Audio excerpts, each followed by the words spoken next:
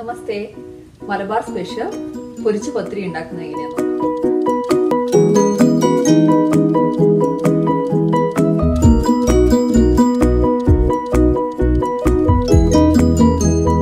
പൊരിച്ച് പത്തിരി ഉണ്ടാക്കാൻ വേണ്ട ഇൻഗ്രീഡിയൻസ് എന്തൊക്കെയാണെന്ന് നോക്കാം. ഒരു കപ്പ് വറുത്ത അരിപ്പൊടിയാണ് എടുത്തിരിക്കുന്നത്. തേങ്ങ ചിരകിയത് ഒരു കപ്പ് ഒരു കപ്പ് വെള്ളം ഒരു ടേബിൾ സ്പൂൺ ജീരകം ചെറിയ ജീരകം ക്യുമിൻ സീഡ്സ് സോൾട്ട് ഉപ്പ് ആവശ്യത്തിന് പിന്നെ ഫ്രൈ ചെയ്യാൻ വേണ്ട ഓയിലും കൂടെ വേണം. പത്തിരി ഉണ്ടാക്കാൻ വേണ്ടിയിട്ട് ആദ്യം തന്നെ വെള്ളം ഒഴിച്ചു കൊടുക്കാം. ഒരു കപ്പ് വെള്ളമാണ്.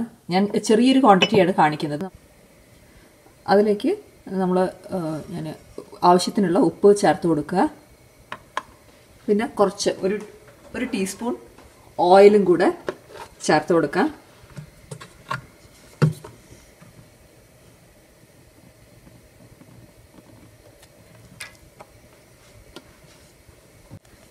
ഇത് നന്നായി തിളച്ച് വരട്ടെ. മിക്സ് ചെയ്ത് കൊടുത്തിട്ട് നന്നായി തിളച്ച് വരട്ടെ. വെള്ളം നന്നായി തിളച്ചിട്ടുണ്ട്. നമുക്ക് ഉപ്പൊക്കെ ഒന്ന് ടേസ്റ്റ് ചെയ്ത് നോക്കിയിട്ട് ഉപ്പൊക്കെ കറക്റ്റാണ് ഇനി നമുക്ക് ഓഫ് ചെയ്യാം. ഓഫ് ചെയ്ത് നമുക്ക് ആ അരിപ്പൊടി വറുത്ത് വെച്ച അരിപ്പൊടിയാണ്. അത് ഇതൊന്ന് അടുപ്പത്തുനിന്ന് ഒന്ന് മാറ്റി വയ്ക്കാം അരിപ്പൊടി നമുക്ക് ചേർത്ത് കൊടുക്കാം. നന്നായി മിക്സ് ചെയ്ത് കൊടുക്കുക.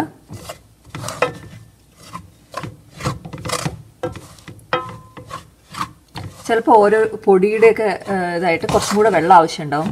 പിന്നെ കുറച്ചും കൂടെ വെള്ളം ഇതിൽ ആവശ്യമുണ്ട്.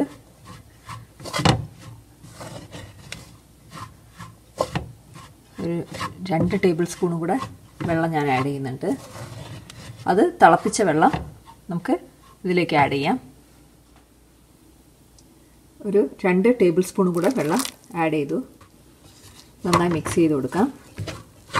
ഇനി കൈവച്ച് ഒന്ന് ചൂട് കുറച്ചൊന്ന് ആറിക്കഴിയുമ്പോൾ കൈവച്ച് നന്നായി മിക്സ് ചെയ്യാം. കൈവച്ച് മിക്സ് ചെയ്ത് കൊടുത്തിട്ടുണ്ട്. ഒരു ചെറിയ ചൂടേ ഉള്ളൂ ഇപ്പം.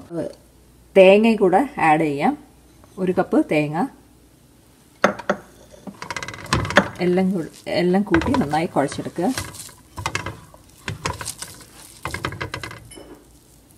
പിന്നെ എടുത്തു വെച്ച ജീരകവും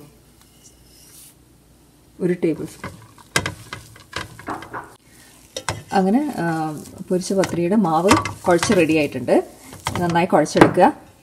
എന്നിട്ട് നമുക്ക് ഇത് മാറ്റി വെച്ച് നന്നായി കുഴയ്ക്കാം. ആകെ ഒരു ശ്രദ്ധിക്കേണ്ട കാര്യം എന്താണെന്ന് വെച്ച് കഴിഞ്ഞാൽ ഉപ്പ് നമ്മൾ തിളച്ച വെള്ളത്തിലേക്ക് ചേർക്കുന്ന സമയത്ത് കുറച്ച് കുറച്ച് കൂടുതൽ ചേർക്കണം. കാരണം തേങ്ങയും അരിപ്പൊടിയും ഒക്കെ ഇടുമ്പോൾ നമ്മൾ പാകത്തിനാവണമല്ലോ അപ്പോൾ അതുകൊണ്ട് അത് മാത്രം ശ്രദ്ധിക്കുക. അപ്പോൾ ഇപ്പം എല്ലാം പാകത്തിനാണ് ഉപ്പും അതൊക്കെ. ഇനി നമുക്ക് ഇത് ഉണ്ടാക്കുന്നത് എങ്ങനെയാണെന്ന് നോക്കാം. അങ്ങനെ ചെറിയ ചെറിയ ബോൾസായിട്ട് നമുക്ക് മാറ്റി വയ്ക്കാം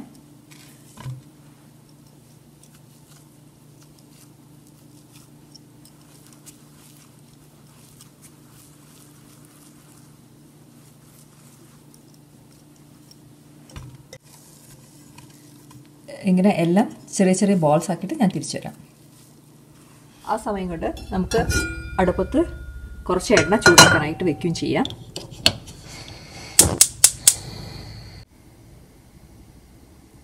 എനിക്ക് ഒമ്പത് ഈ സൈസിലുള്ള ഉരുളകളാക്കിയിട്ടാണ് വെച്ചിരിക്കുന്നത്.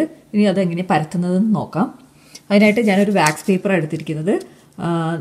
ഇത് നാട്ടിലൊക്കെ ആണെങ്കിൽ നമുക്ക് ഇല ഉണ്ടെങ്കിൽ ഇലയിലായിരുന്നു അമ്മയൊക്കെ ആണെങ്കിൽ ഇലയിലായ പരത്താറ്. അതാകുമ്പോൾ കുറച്ചും കൂടെ ടേസ്റ്റും കൂടും. അതിലേക്ക് കുറച്ച് എണ്ണ പുരട്ടി കൊടുക്കുക. എന്നിട്ട് ഓരോ ഒരു ഉരുളെടുത്ത് നന്നായി പരത്തി കൊടുക്കുക. അധികം തിന്നായിട്ട് പരത്തേണ്ട ആവശ്യമില്ല. അത് ജസ്റ്റ് എന്താ പറയുക കുറച്ച് തിക്കായിട്ടാണ് പരത്തേണ്ടത്.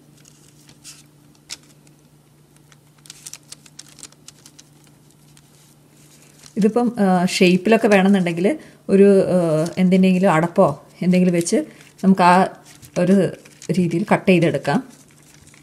ഞാനിപ്പോൾ അങ്ങനെ ചെയ്യുന്നില്ല. പിന്നെ ഇതിന് നടുവിൽ വേഗം വറുത്ത് വറുത്ത് വരാനും ഇത് എണ്ണയിൽ ഫ്രൈ ചെയ്തെടുക്കാൻ വേണ്ട അപ്പോൾ അതിനൊരു ഒരു കുഴിയും കൂടെ ഉണ്ടാക്കി വെച്ചിട്ടുണ്ട്. ഇങ്ങനെ എല്ലാം നമുക്ക് പരത്തിയെടുക്കണം. സൈഡൊക്കെ പൊട്ട് പൊട്ടാണ്ട് നോക്കണം. ഇതിപ്പം എണ്ണ ചൂടായിട്ടുണ്ട് അപ്പം ഇത് ജസ്റ്റ് ഇതൊന്ന് ഫ്ലിപ്പ് ചെയ്ത് എണ്ണയിലേക്ക് ഇടുമ്പോൾ പ്രത്യേകം സൂക്ഷിക്കണം. കയ്യിലൊന്നും ആവാണ്ടിരിക്കാൻ വേണ്ടിയിട്ട്.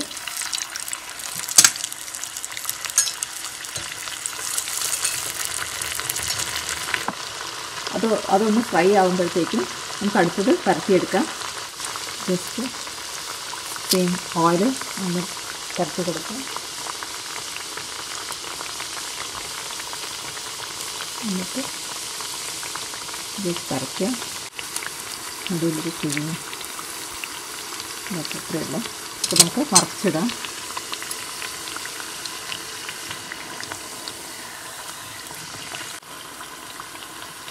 ചെറിയൊരു ചുമപ്പ് കളർ വന്നിട്ടുണ്ട്. ഇനി നന്നായി കുറച്ചും കൂടെ മുരിക്കണമെങ്കിൽ കുറച്ചും കൂടെ മുരിയാം. ഇതൊരു ചെറിയൊരു ചുമപ്പ് വന്നിട്ടുണ്ട്. ഞാൻ എണ്ണയിൽ നിന്ന് എടുത്തു മാറ്റാൻ പോവാണ്.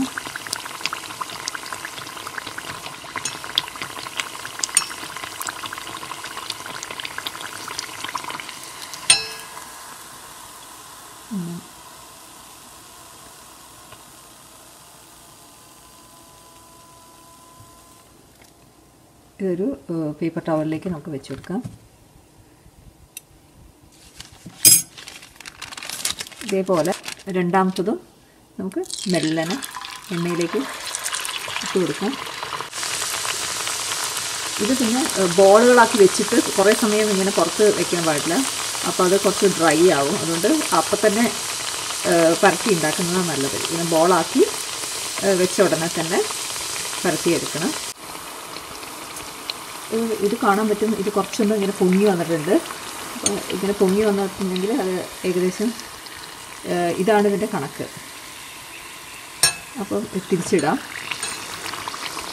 ഈ അടുത്ത സൈഡ് ആയിക്കഴിഞ്ഞ് നമുക്ക് മാറ്റി വയ്ക്കാം ഇത് ആയിട്ടുണ്ട്. കുറച്ച് ഒന്ന് ചുമന്ന് വന്നിട്ടുണ്ട്. അപ്പം ഇത് നമുക്ക് എണ്ണയിൽ നിന്ന് എടുത്ത് മാറ്റി വയ്ക്കാം അതുപോലെ തന്നെ എല്ലാം നമുക്ക് വറുത്തെടുത്തിട്ട് തിരിച്ചു വരാം. അങ്ങനെ മീഡിയത്തിൽ ഇട്ടിട്ട് വേണം വറ വറുത്തെടുക്കാൻ. അല്ലെങ്കിൽ വേഗം കരിഞ്ഞു പോകും അങ്ങനെ നമ്മുടെ പൊരി പൊരിച്ച പത്തിരി എല്ലാം വറുത്ത് വെച്ചിട്ടുണ്ട്. ഇത് മലബാറുകാരുടെ ഒരു സ്പെഷ്യൽ ഡിഷാണ്. അപ്പം ഇത് മേലെ നല്ല മുരിഞ്ഞ് ഉള്ളിൽ നല്ല സോഫ്റ്റ് ആയിട്ടുള്ളതാണ്. നാലുമണി പല ഒരു പലഹാരമായിട്ടും വേണമെങ്കിൽ കൂട്ടാം. ബ്രേക്ക്ഫാസ്റ്റിനാണ് അമ്മയൊക്കെ ഉണ്ടാക്കാറ്. അപ്പോൾ അതിൽ ഞാൻ വറുത്തരച്ച കറികളുടെ കൂടെ നല്ല ടേസ്റ്റ് ആയിരിക്കും. ഞാനിപ്പോൾ വറുത്തരച്ച കടലക്കറി ഉണ്ടാക്കാൻ പോകുന്നത് ചിക്കൻ കറിയോ എന്ത് കറിയാണെങ്കിലും കുഴപ്പമില്ല. അപ്പോൾ എല്ലാവരും ട്രൈ ചെയ്യുന്നു വിചാരിക്കുന്നു. താങ്ക് യു ഇന്നിവിടെ സ്നോ പെയ്യാൻ തുടങ്ങി. നമ്മൾ പോണ്ടെല്ലാം ഫ്രീസായി ഭയങ്കര കാറ്റുമാണ് ഫൗണ്ടൻ മാത്രം മീനൊക്കെ അടിയിൽ പോയിട്ടുണ്ട്.